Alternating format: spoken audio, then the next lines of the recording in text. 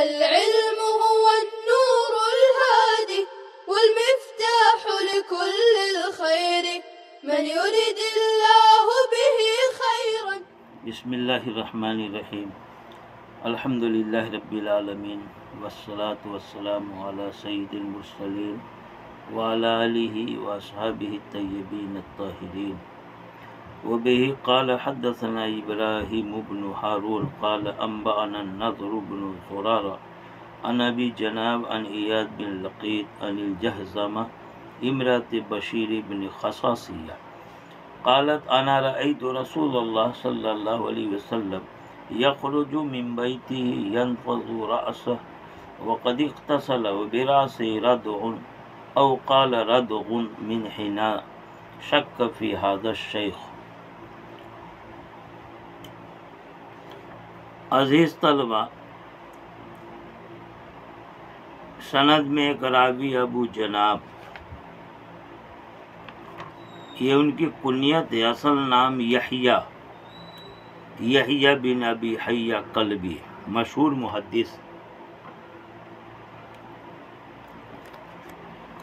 जहजामा, जो बशीर बिन खसासिया की बीवी है ये सहाबियात में से। इनका ज़माने जहलीत का नाम जहजमा है। आप सल्लल्लाहु अलैहि वसल्लम ने उनका नाम बदल कर लैला रख दिया था। बशीर बिन खसासिया की बीवी, इनके शौहर का पहला नाम जहमा था। आप सल्लल्लाहु अलैहि वसल्लम ने उस नाम को भी बदल दिया और नया नाम बशीर रख दिया था। खसासिया, ये खसासा बिन अम्र की तरफ़ मंसूब होकर खसासिया कहलाती है। खसासिया की, के बेटे, खसासा बिन अम्र की तरफ़ मंसूब। उनका असल नाम कबशा है, जिनके बेटे ये हैं। फरमाती है कि मैंने देखा आप सल्लल्लाहु को कि आप अपने घर से निकल रहे थे और आप अपने सर मुबारक को झाड़ रहे थे वह कदीक तसला और आपने गसल कर रखा था। यानी गसल करके घर से निकले सर को झाड़ते हुए। वह बेरा से रद और हुजूर के सर मुबारक में मेहंदी का असर था। रदउन का लफ्ज़ है या रदगुन का आन या गैन। कहते हैं, शक का फ़ी हादर शेख। इमाम तिरमिज़ी कहते हैं कि इस बारे में हमारे जो शेख हैं, यानी इब्राहिम बिन हारून, शुरू में हदसना इब्राहिम बिन हारून कहा तो ये इमाम तिरमिज़ी के उस्ताद इब्राहिम बिन हारून हैं, उन्होंने इस रिवायत को बयान करते हुए रदउन कहा या रदगुन कहा इस बारे में शक हो गया।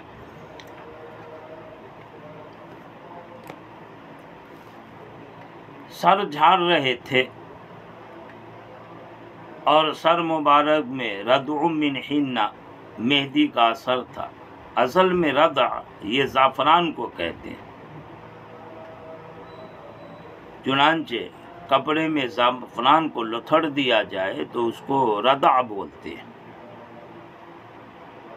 जिसमें अच्छा रंग, अच्छी खुशबू होती है।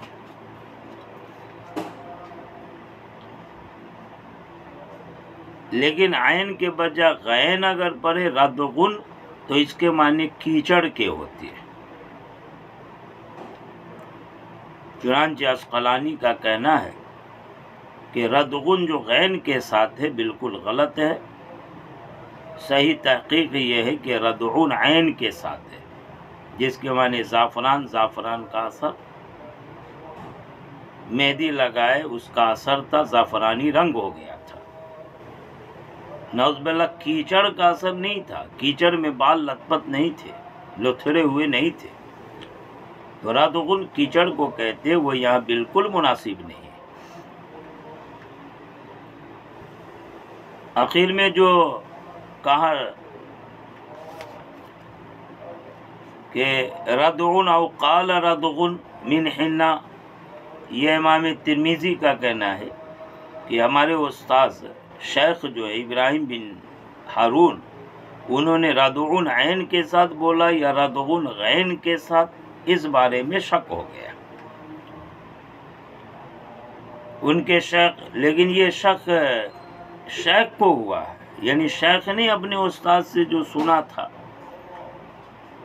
वो शक के तौर पर बयान कर रहे हैं। इमाम तिरमीजी को शक नहीं हो रहा, उस्तादी को शक हो रहा। इस बारे में शेख, यानी इमाम तिरमीजी के उस्ताद इब्राहिम बिन हारून को शक था कि इस मौका पर उनके उस्ताद राबी ने रदून का लफ्ज़ इस्तेमाल किया था या रदगुन का लफ्ज़ इस्तेमाल किया था। बहरहाल, इस रिवायत से साबित हो रहा है कि आप सल्लल्लाहु अलैहि वसल्लम के सर पे मेहंदी का असर यानी गोया खिजाब लगाए थे और फिर गसल फरमाए थे। दूसरी रिवायत है जिसमें हज़रत अनस कहते हैं कि मैंने आप सल्लल्लाहु अलैहि वसल्लम के बाल को देखा, मखजूबा। खिजाब किया हुआ।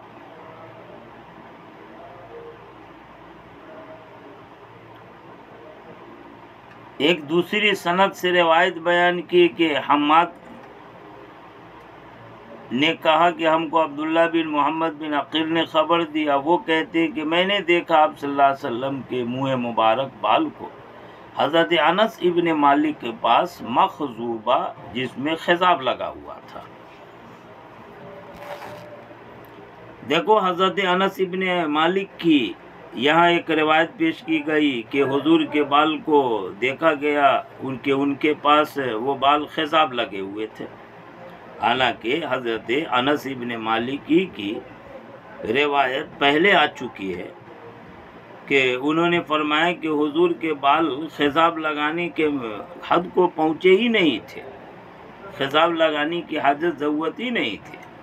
और यहाँ कह रहे कि उनके पास खिजाब लगे हुए बाल थे। तो दोनों रिवायतों में तारुज है। तारुज को दफ़ा करते हुए एक तत्वीक तो ये दी गई है कि ये मुख्तलिफ़ अवकात की बात है।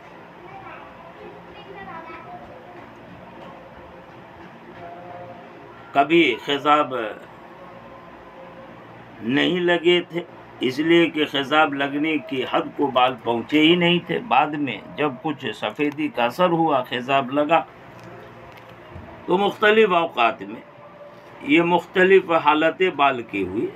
लिहाजा मुख्तलिफ़ अवकात पर महमूल कर ले तो वो भी दुरुस्त है, ये भी दुरुस्त है। एक तत्वीक ये दी गई है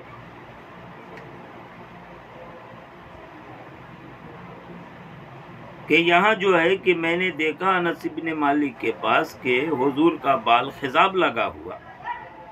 ठीक है, खिजाब लगा हुआ। हालाँकि हज़रत अनस ने मालिक ने पहले रिवायत में नफ़ी फरमा दी कि खिजाब की हद को बाल पहुँचे ही नहीं।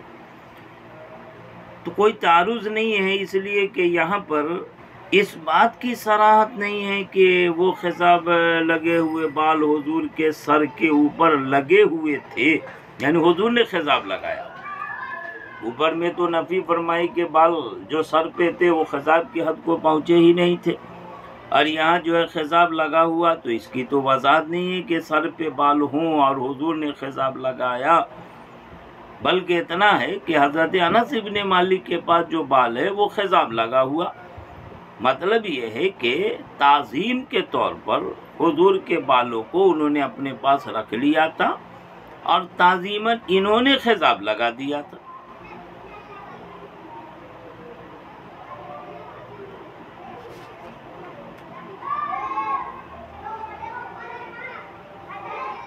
ये भी एहतमाल है कि हज़रत अनस ने खुद हजूर के बालों को अपने पास महफूज किया था तबर्रु के तौर पर। और उन बालों की हिफाजत के लिए कि उनमें तगैर ना आने पाए, उन्होंने खिजाब लगा दिया।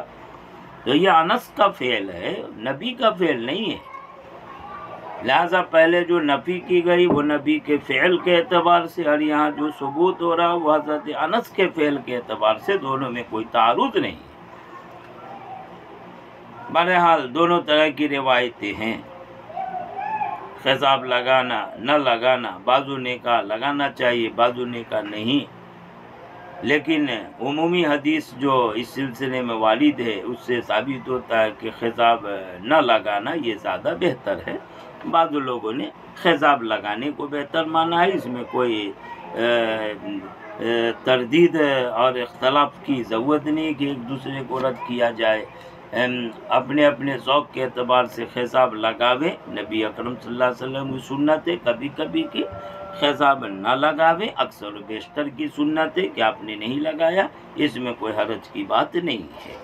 बहरहाल, ये बाब खिताब के ताल्लुक़ से ख़त्म हो गया है। आगे दूसरा बाब शुरू हो रहा है, बाब माजा फ़ी कोहल रसूल आप के सुरमा के बारे में। रिवायतें बयान की जाएंगी इन ताला कल से उस पर कलाम होगा वाखिर दावाना अनिलहमदिल्ला रबीआलमी